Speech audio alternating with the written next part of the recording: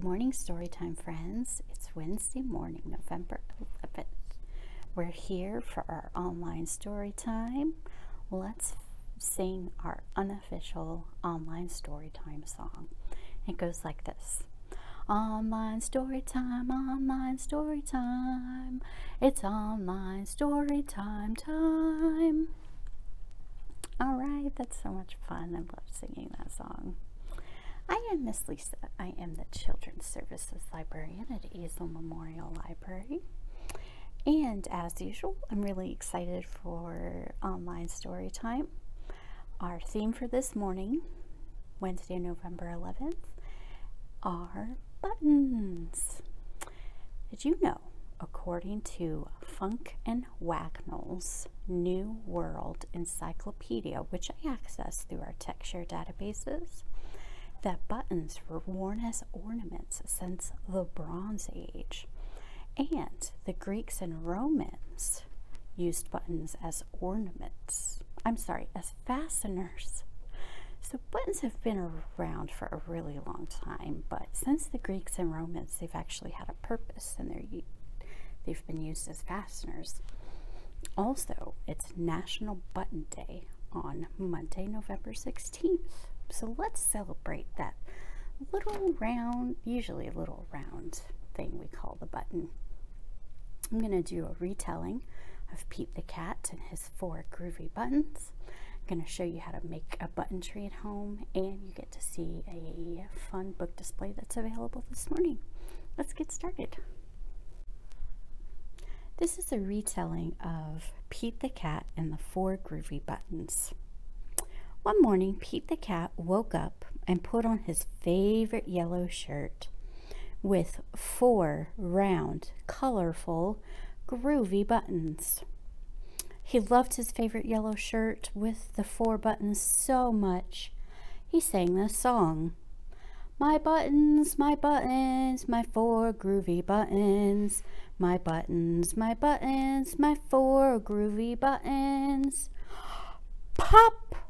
Oh no, one of the buttons popped off and rolled away. How many buttons are left? There's one, two, three.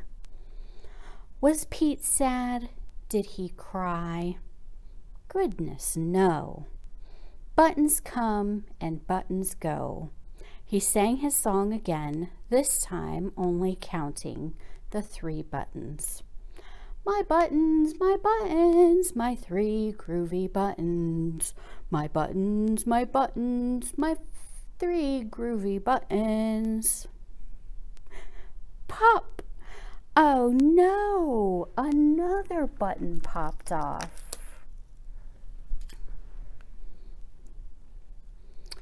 And rolled away. How many buttons are left? One, two. Was Pete sad? Did he cry?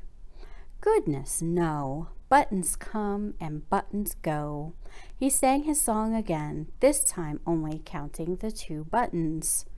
My buttons, my buttons, my two groovy buttons. My buttons, my buttons, my two groovy buttons. Pop! Guess what happened? Another button popped off and rolled away. How many buttons are left? One. Was Pete sad? Did he cry? Goodness, no. Buttons come and buttons go. He sang the song again, this time only counting the one button. My button, my button, my one groovy button.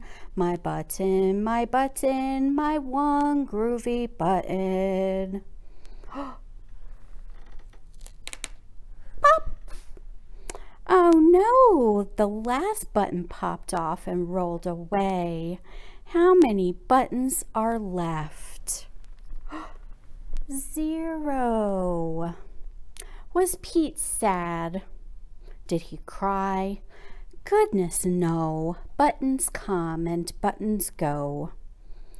Pete looked down at his buttonless shirt, and do you know what he saw? He he saw his belly button.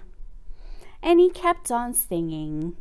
My button, my button, I still have my belly button. My button, my button, I still have my belly button. The end. Here is our book display that's available this morning. Uh, come and get them while they're still here. We've got Pete the Cat and his four groovy buttons. We have Lift, Corduroy, the Button Book, Don't Push the Button, the Good for Nothing button, and Push Button. Here's the button tree. This is the craft you can make at home. You could make it small, medium, or large. I took some cardboard from a cereal box that was due to be recycled. I drew on some tree branches and a tree trunk and some leaves. You could use crayons or markers. I used colored pencils. You could buy your own buttons or you can find buttons sitting around the house, maybe in a junk drawer, and you just glue them on with Elmer's glue super simple and it is really cute.